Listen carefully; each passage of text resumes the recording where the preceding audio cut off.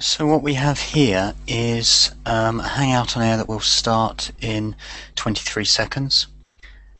And I suggest you set it to about any time that you, you're going to uh, know when you're going to start. So that could be 30 minutes, 35 minutes, 40 minutes, and it will count down. It is a slight variation on the time and date because if you don't set a time in the future, let me just see the countdown.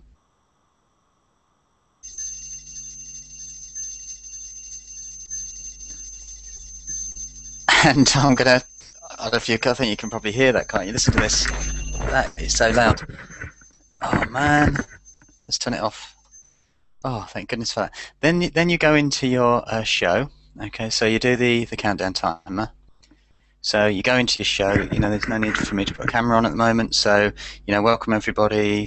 Thanks for coming. All that sort of thing. Let's say you go on for about 10 or 15 minutes, and while the show is going on, you might want to do another break, say um, halfway through. So you can stop that and you say, okay, so everybody's going to have a, a break now. We're going to get a cup of tea and a biscuit, and we'll be back after this short break. Then on comes the timer again, and everybody knows that you're going to be back. Your guests uh, get refreshed, they get relaxed.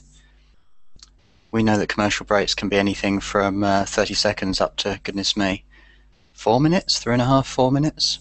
So it's enough time to put the kettle on, um, come back with a cup of coffee or something stronger, and see if you can pick up, pick this up again. And I'm going to. go.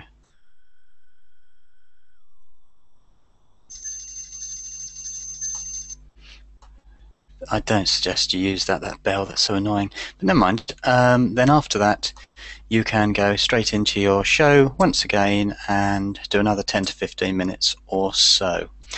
Thanks very much for that one. I'm sure I'll come up with another uh, variation on this theme. If you've got one, you know, better or similar, then please let me know. It's uh, plus Mike Downes. Thanks.